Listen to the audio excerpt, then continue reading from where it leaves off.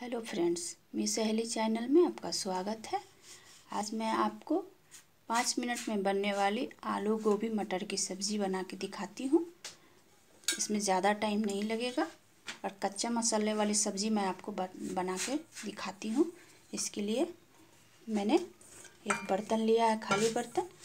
मैंने सारे सब्ज़ी को काट के पहले से रख लिया है। गोभी, आलू, मटर, सारे सब्ज़ी को काट के धो के फ्रेश करके रख लिया है। अब मैं इस बर्तन में ये गोभी डाल देती हूँ।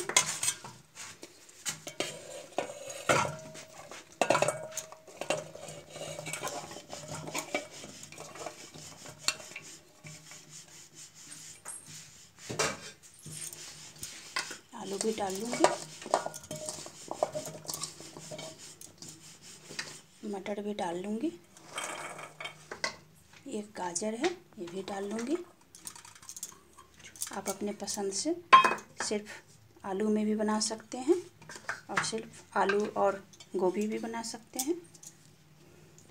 ये कूटा हुआ अदरक और लहसुन है।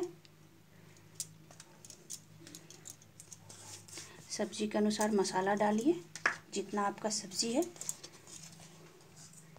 एक चम्मच हल्दी पाउडर।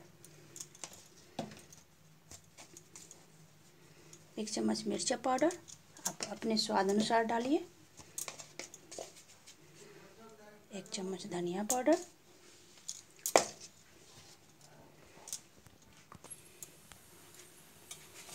और थोड़ा गरम मसाला। और ये मैंने दो टमाटर लिया है, ये भी इसमें डाल दूँगी। स्वाद अनुसार नमक। अब मैं आपको बताती हूँ इसका बनाने का तरीका।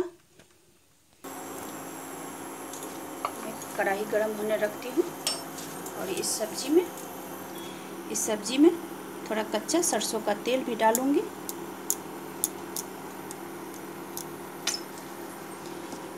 और इसे अच्छा तरह से मिला लूँगी सबको। कढ़ाई गर्म हो चुका है। अब इसमें थोड़ा तेल डाल देती हूँ।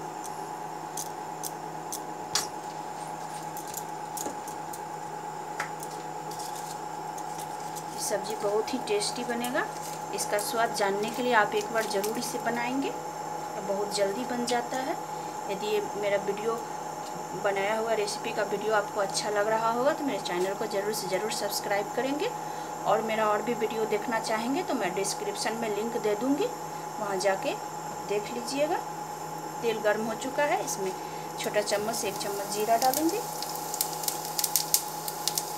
एक दो तेज़पत्ता।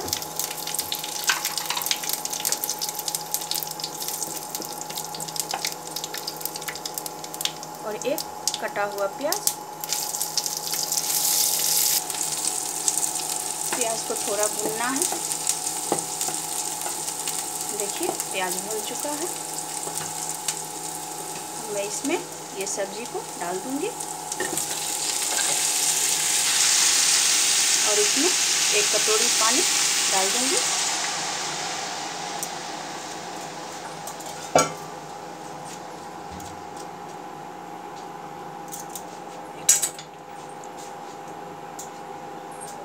और इसे ढक्कन से पैक कर दूँगी। और इसे मध और इसे मध्यम आँच पे पकने दूँगी। ये पाँच मिनट खोल चुका है। अब इसे एक बार चेक कर लेते हैं।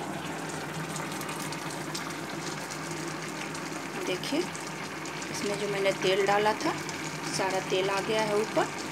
और आप सब्ज़ी को चेक कर लीजिए। आपका सब्ज़ी जिस साइज़ का कटा होगा, उतना टाइम लेगा पकने में। आलू थोड़ा बड़ा बड़ा है, थोड़ा सा और दो मिनट पका लेती हूँ। आपका सब्ज़ी बन के तैयार हो जाएगा, बहुत ही ज़्यादा टेस्टी सब्ज़ी, इसे एक बार ज़रूर ट्राई करेंगे। दो मिनट और पका के मैं आपको दिखाती हूँ। इस सब्ज़ी को जब भी बनाएँ तो बीच में बार बार ना खोलें। इसका भाप अंदर ही रहने दें। तो ही ज़्यादा टेस्टी होगा। बीच बीच में बार बार ना खोले, एक बार खोले कि हाँ अब अंजाद आ जाए कि मेरा सब्ज़ी हो गया होगा तो एक बार देखें। देखिए, सब्ज़ी बन के रेडी है। लास्ट में थोड़ा धनिया पत्ती डाल दीजिए।